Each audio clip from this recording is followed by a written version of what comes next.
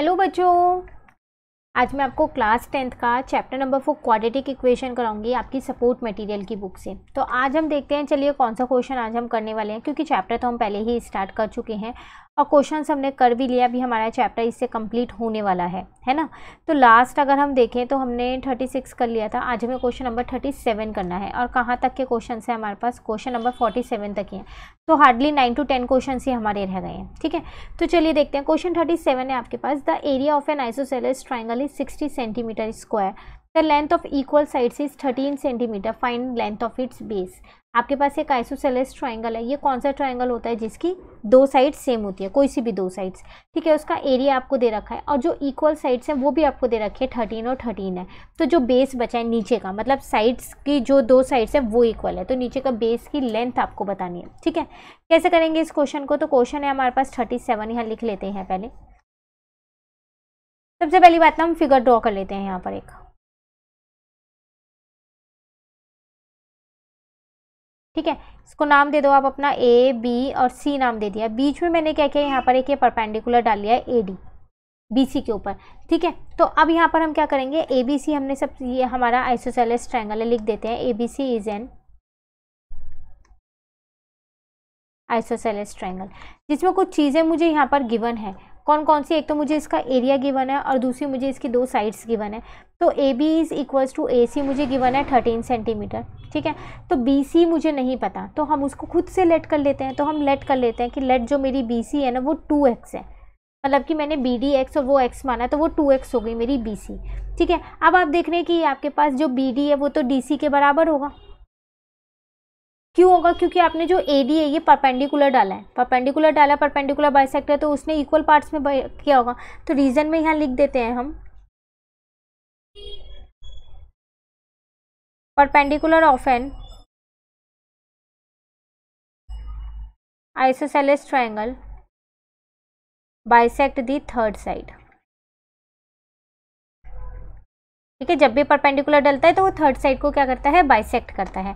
अब आप देखो, यहाँ पर आपके पास एक राइट एंगल ट्राइंगल बनना है, एक ए बी डी और एक ए डी सी तो आप इसमें अपनी पाइथागोरस थ्योरम लगा सकते हो। लगा सकते हो ना? तो हम ट्राइंगल की बात करते हैं। In triangle A B D तो जब मैं अपनी पाइथागोरस थ्योरम लगाऊँगी तो मेरा ए बी का स्क्वायर जो है, वो किसके बराबर होगा? ए डी के स्क्वायर के प्लस में बी डी के स्क्वायर के।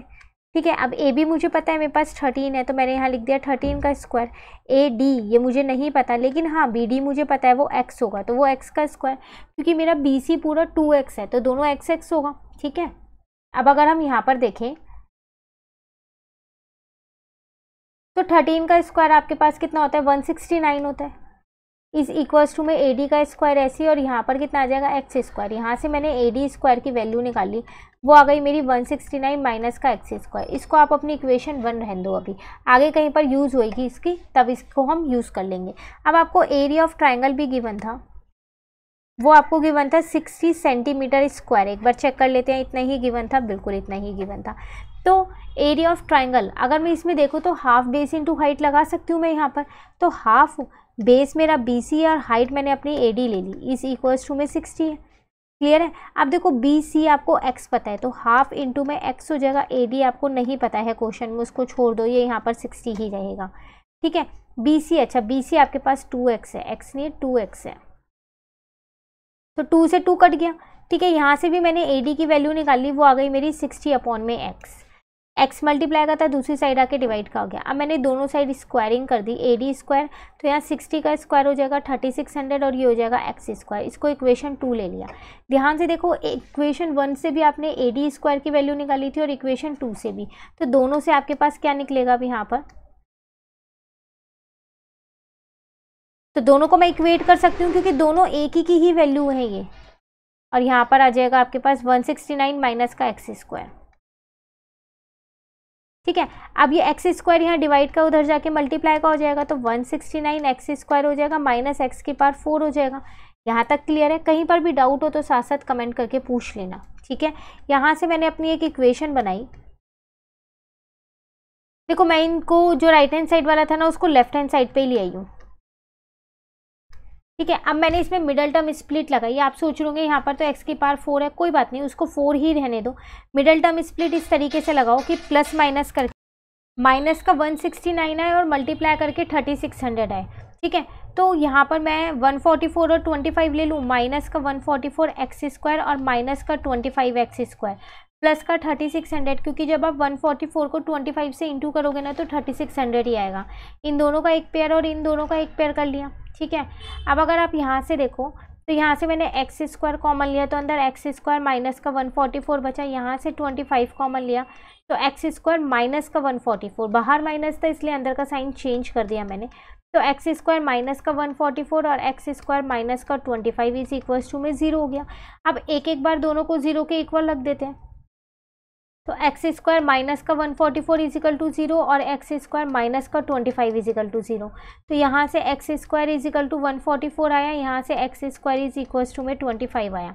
एक्स की वैल्यू यहाँ से आपके पास प्लस माइनस ट्वेल्व आई और एक्स की वैल्यू यहाँ से आपके पास प्लस माइनस फाइव आई. अब देखो, आपने एक्स माना किसको था? साइड को. तो साइड तो टू एक्स माना था ना साइड तो कभी भी नेगेटिव नहीं हो सकती ना. तो इसका मतलब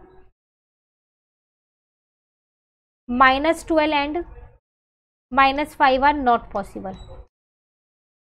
तो यहाँ पर दो वैल्यूज़ निकली हैं, एक प्लस का ट्वेल्व और एक प्लस का फाइव तो बी सी की वैल्यू कितनी आ जाएगी? टू एक्स थी।